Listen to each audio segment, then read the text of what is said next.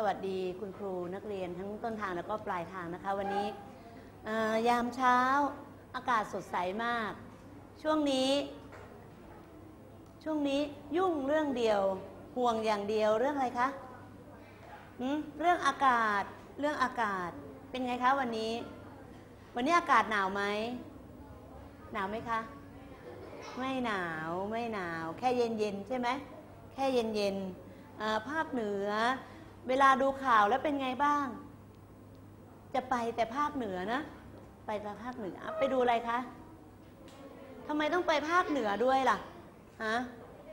ไปดูแม่คะนิ้ง ไปดูอะไรอีก พระอาทิตย์ขึ้น ไปสัมผัสอากาศหนาว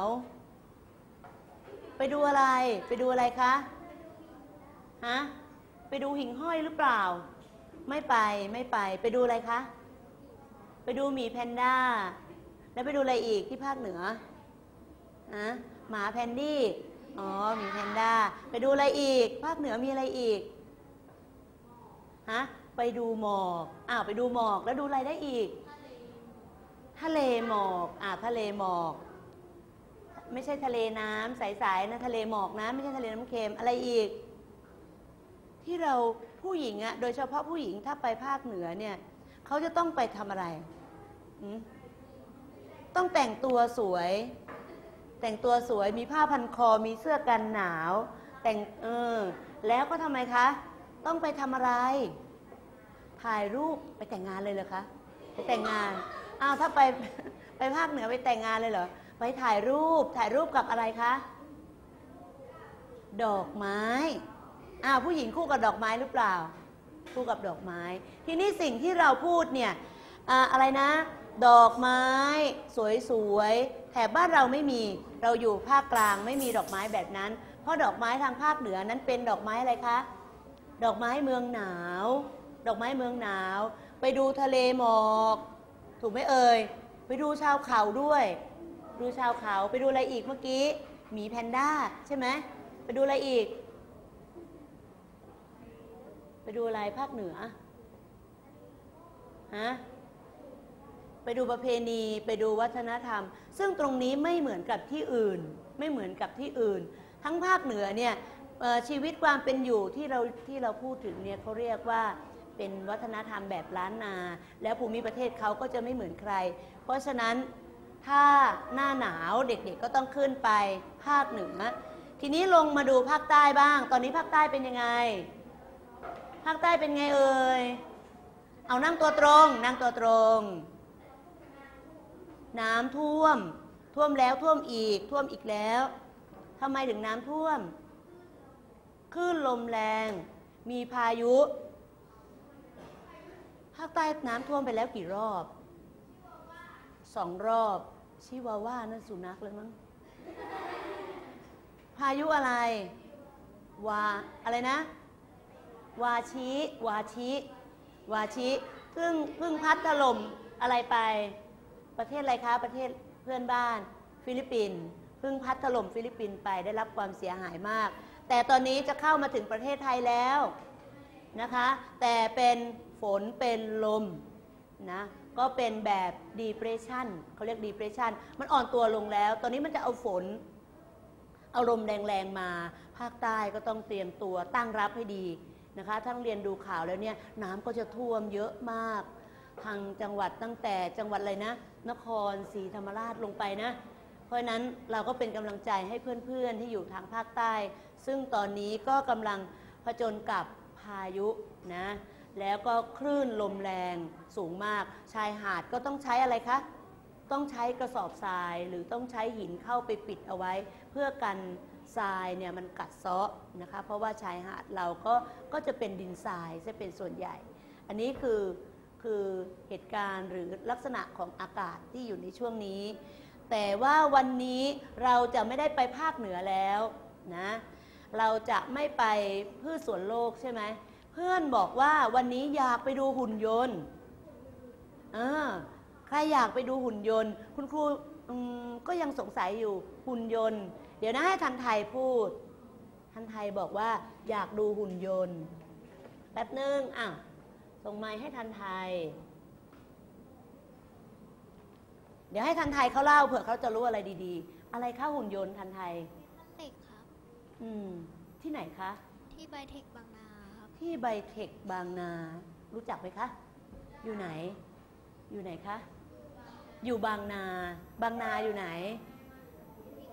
ฮะ อยู่กรุงเทพเหรอคะ กรุงเทพหรือสมุทรปราการ ไม่รู้แหละ แต่ที่แน่ ๆ อยู่ภาคอะไร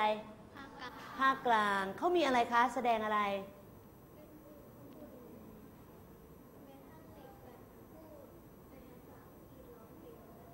อื